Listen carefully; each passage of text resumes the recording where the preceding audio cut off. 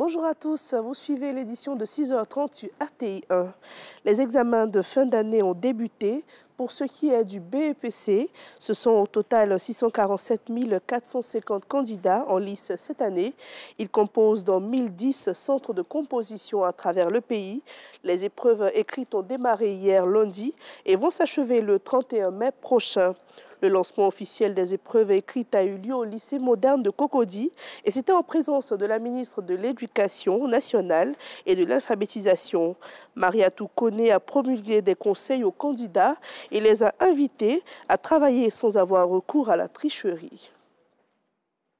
Toujours au sujet du BEPC, on le disait à l'instant, les épreuves écrites ont démarré sur toute l'étendue du territoire national.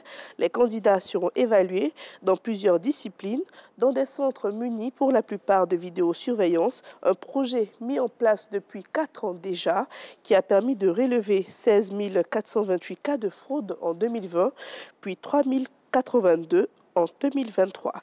Des chiffres considérablement pardon, à la baisse. On fait le point avec Sephora. Des images de vidéosurveillance depuis 4 ans dans l'organisation des examens à grand tirage en Côte d'Ivoire.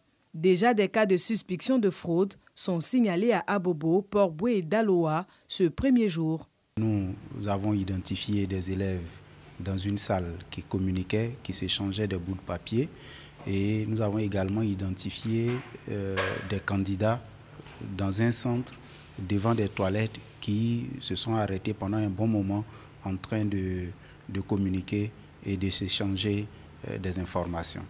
À partir de cette salle, les informaticiens ont accès à tous les centres d'examen du pays. Nous avons quatre centres de supervision. Ça, c'est juste un centre que nous avons visité il y a d'autres centres qui, sont, euh, qui sont installés dans d'autres établissements et même au siège de la direction. D'ici, le centre, nous voulons visualiser à partir de certaines adresses IP, nous accédons à ce centre et nous visualisons tout ce qui se fait dans le centre. De 16 428 cas de fraude en 2020, la Côte d'Ivoire a enregistré 3 882 cas en 2023, des avancées à mettre à l'actif de la vidéosurveillance avec la collaboration de la Direction de l'information et des traces technologiques, DITT.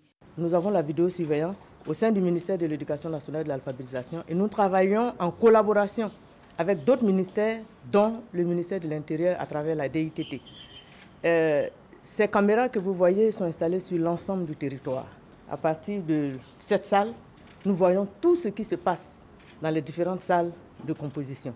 Cette année, le dispositif s'est renforcé avec les équipes mobiles qui sillonnent les centres munis de détecteurs de signaux. Pour la première journée, une vingtaine de téléphones portables saisis dans un seul centre de composition. En plus des caméras fixes, nous avons des caméras à travers des véhicules mobiles pour sillonner. Nous avons des brouilleurs de, de fréquences. Euh, on sait qu'il y a des systèmes WhatsApp, des gens qui tout ça, nous essayons de brouiller, nous essayons, de faire en sorte que ça ne marche pas. Donc tout ça pour dire aux, candidats qu'il faut continuer à étudier.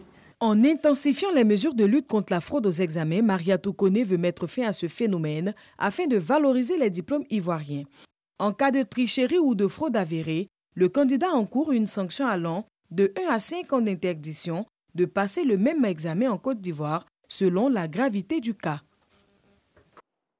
ce sont plutôt 3 882 cas de fraude qui ont été enregistrés en 2023 et on souhaite bonne chance à tous ces candidats.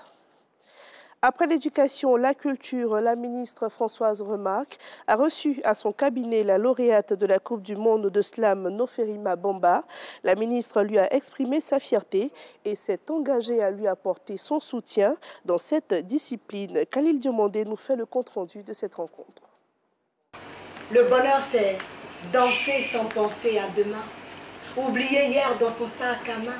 Le bonheur, c'est ce sourire téméraire qui s'accroche à tes lèvres dans les pires moments de ta vie. C'est une folle amoureuse de l'oratoire et c'est elle qui détient le trophée de la Coupe du Monde de Slam Poésie 2024.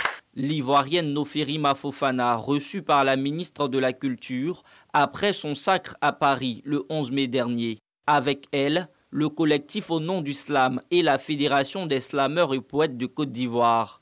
Françoise Remac traduit à la lauréate et à toute son équipe les félicitations du président de la République. Des félicitations accompagnées de présents. Madame la ministre, depuis le départ et avec moi, elle m'a vraiment motivée à travers des paroles. Et là, maintenant, elle me reçoit. C'est un immense privilège pour moi. Déjà, c'est de continuer ma formation. Voilà en oratoire, dans le slam, mais aussi en journalisme. Je pense que c'est la toute première fois dans l'histoire du slam en Côte d'Ivoire qu'on est reçu de cette forte, belle manière. Le plus dur commence pour, pour nos faits parce qu'il y a des challenges à venir pour, la fin de l'année. Et donc, elle doit représenter encore et encore dignement la Côte d'Ivoire.